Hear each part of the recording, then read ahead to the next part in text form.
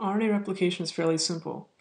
The uh, RNA polymerase is going to maybe jump onto perhaps a section of DNA, perhaps it's called the promoter region.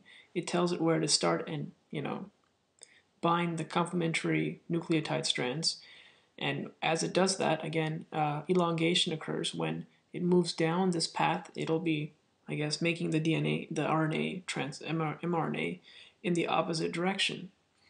So promoters are kind of like the primers in the DNA. It tells the polymerase where to start.